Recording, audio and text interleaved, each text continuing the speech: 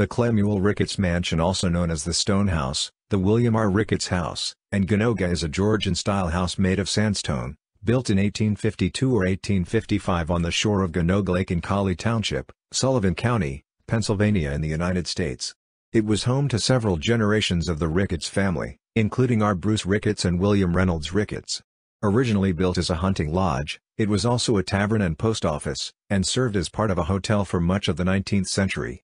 After 1903 the house served as the Ricketts family's summer home, they kept it even as they sold over 65,000 acres 26,000 hectares to the state of Pennsylvania from 1920 to 1950. The house was included in the Historic American Buildings Survey HABS in 1936 and listed on the National Register of Historic Places NRHP in 1983. A group of investors bought the lake, surrounding land, and house in 1957 and developed them privately for housing and recreation. The house became the Ganoga Lake Association's clubhouse, and is not open to the public. The original mansion is an L-shaped structure, two and a half stories high, with stone walls 2 feet 0.6 meters thick. It was built in a clearing surrounded by old-growth forest with a view to the lake 900 feet 270 meters to the east. In 1913 a two-half-story wing was added to the north side of the house and the original structure was renovated. The house has 28 rooms, four porches, and its original hardware and woodwork. Dormers and some windows were added in the renovation, and electrical wiring and modern plumbing have been added since.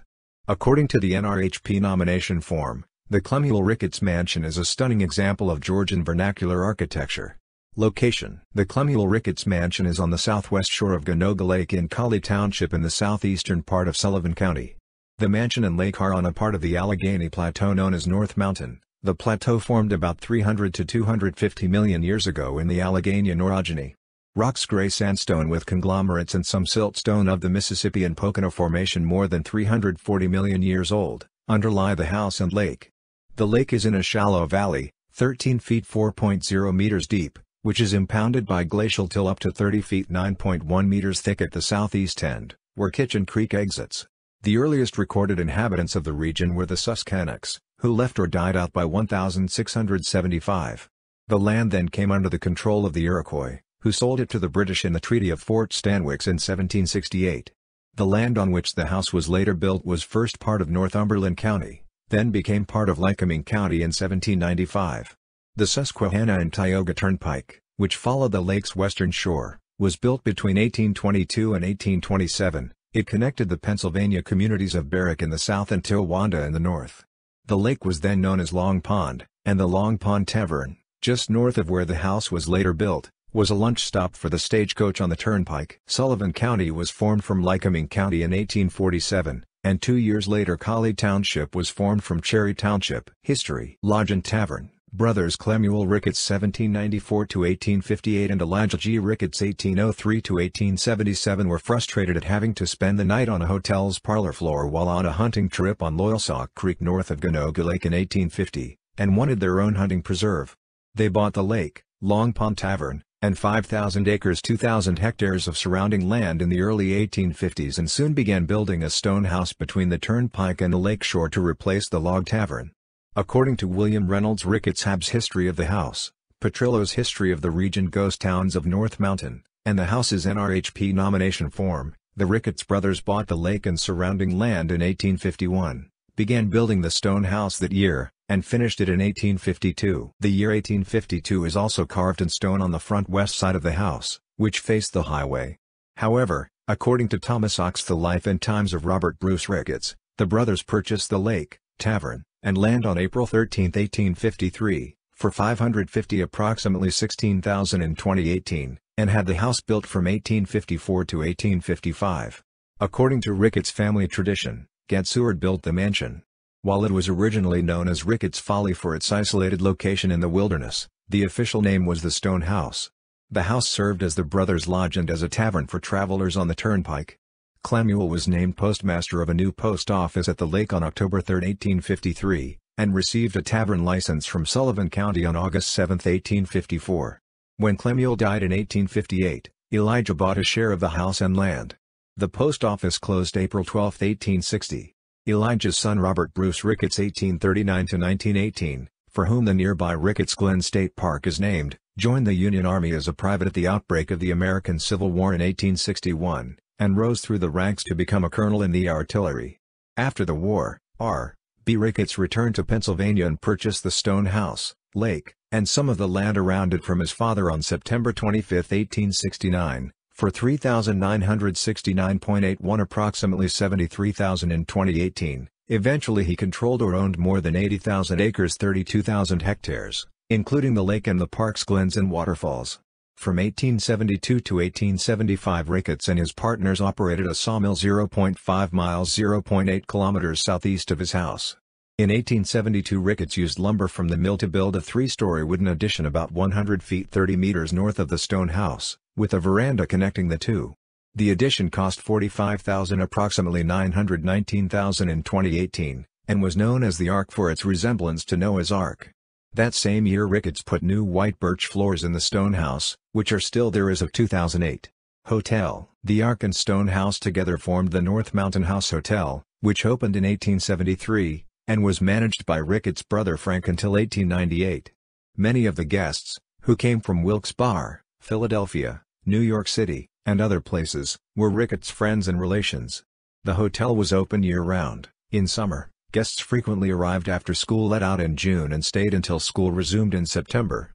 In 1876 and 1877, Ricketts ran the first summer school in the United States at his house and hotel. One of the teachers was Joseph Rothrock, later known as the father of forestry in Pennsylvania.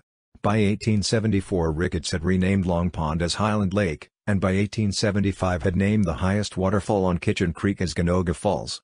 That year the North Mountain House Hotel was featured in John B. Bachelder's travel guide Popular Resorts, and How to Reach Them, which praised its location in a virgin forest, the lake and nearby waterfalls, and opportunities for hunting, fishing, and hiking.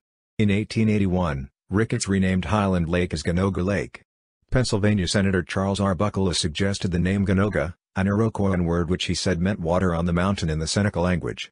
The house and hotel were on the east side of the old turnpike. A 100-acre 40 hectares field on the other side of the road had a small herd of milk cows and a vegetable garden to provide for the guests' needs.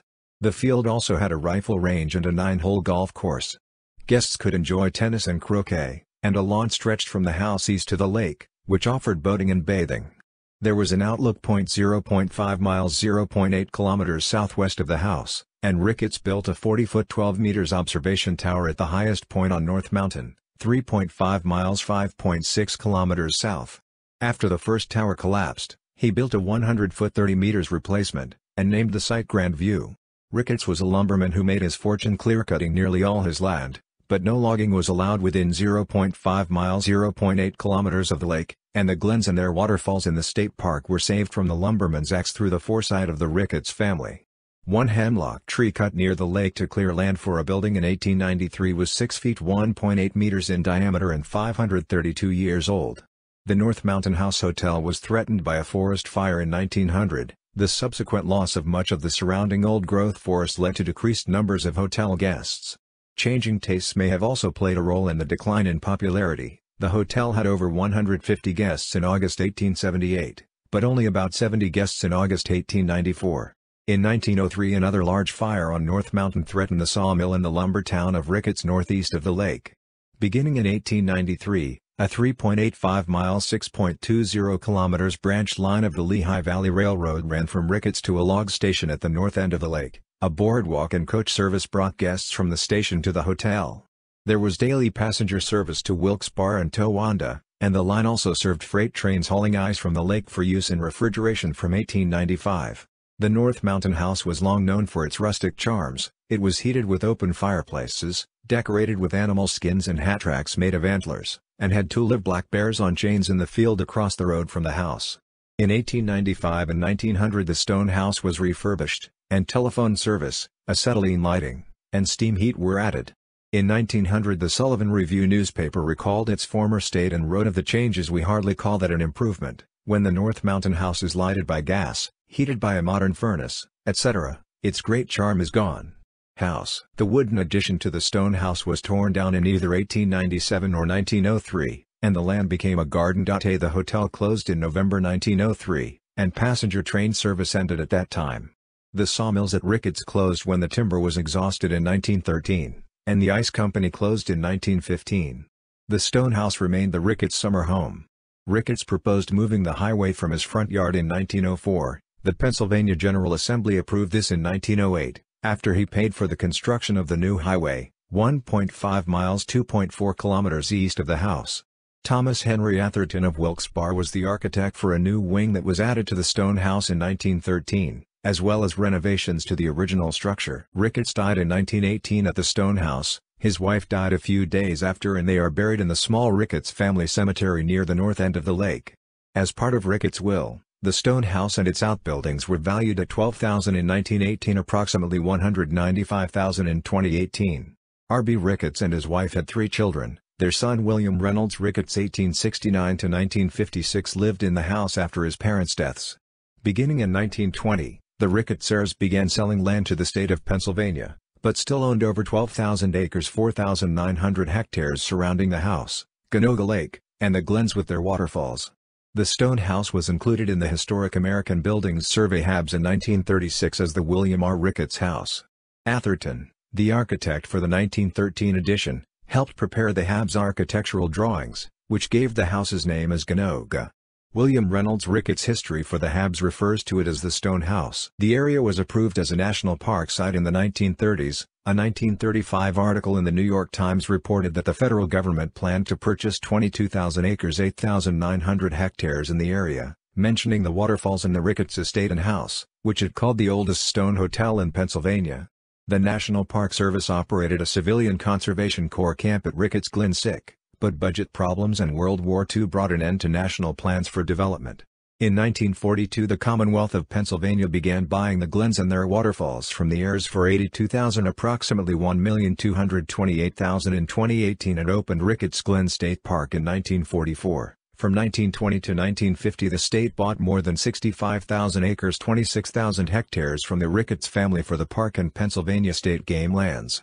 William Reynolds Ricketts died in 1956 and the lake and surrounding land were sold in October 1957 for 109,000 approximately 950,000 in 2018. The Department of Forests and Water's predecessor of the Pennsylvania Department of Conservation and Natural Resources bid on the 3,140 acres 1,270 hectares including the house and lake, but were outbid by a group of private investors. These formed the Lake Ganoga Association in September 1959 to regulate and preserve the recreation and residential facilities at Lake Ganoga. The association built a road around the lake, cleared some land at its southern end, and its members built about 50 houses on the lake shore. In 1983 the stone house was listed on the National Register of Historic Places as the Clemuel Ricketts Mansion. It serves as the association's headquarters and clubhouse, and is used for association meetings, weddings, and picnics. As part of a private development, the house and lake are not open to the public to all outsiders that have no property around the lake, the lake and grounds are off limits. Architecture Clemuel Ricketts, the architect of the stone house, was very interested in architecture from the colonial period and had traveled widely. In the 1840s he published a book which examined the British and European sources of colonial architecture in the United States.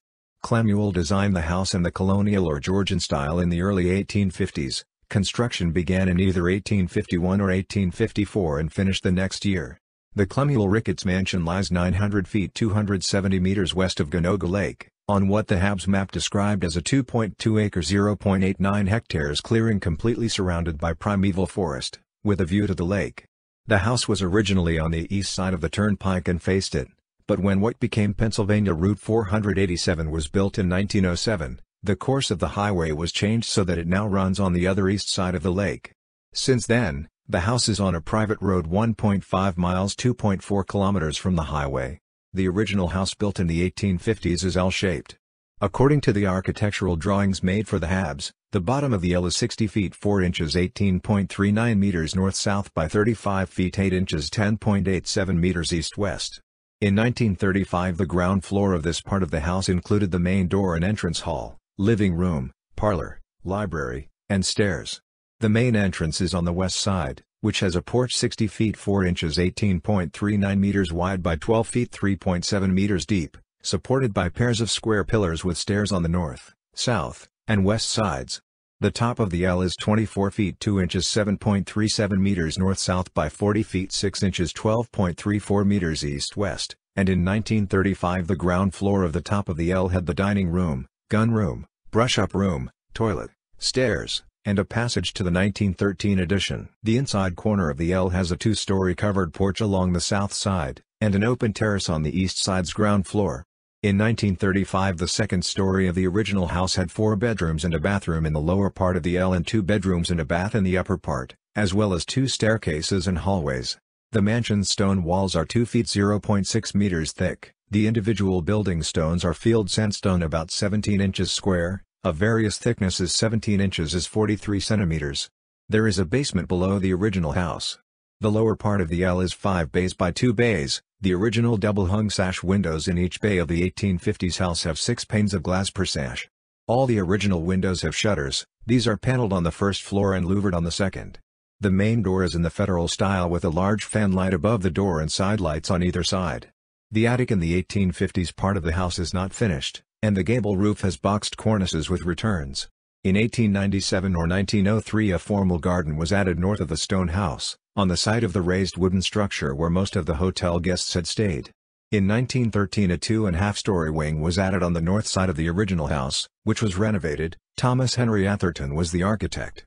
The new wing is 48 feet 3 inches 14.71 meters north-south and 20 feet 4 inches 6.20 meters east-west, with a large enclosed one-story porch on the north and east sides. In 1935 the addition had the kitchen, pantry, storage and refrigeration rooms, and a maid's dining room on the first floor, two bedrooms and a bathroom on the second floor, and two servant rooms and a bath in the finished attic. The new wing has six dormers three on a side, and six dormers were added to the old house in the 1913 renovation four on the east side, two on the west. The windows on the first floor of the new wing match the old windows, but the windows in the second story of the addition have 12 panes in the upper sash and 8 in the lower.